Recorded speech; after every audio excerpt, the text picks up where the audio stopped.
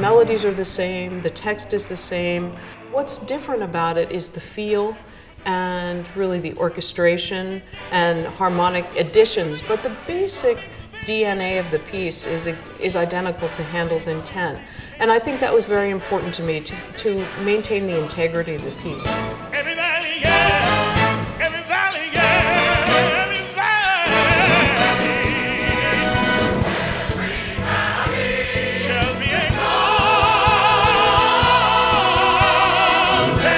Thought about how much Handel would have liked it to be reinvented. I mean, Mozart did his own version of the Messiah, and people always ornament and they add improv, and it really lends itself, in my opinion, to uh, different kind of stylistic treatments.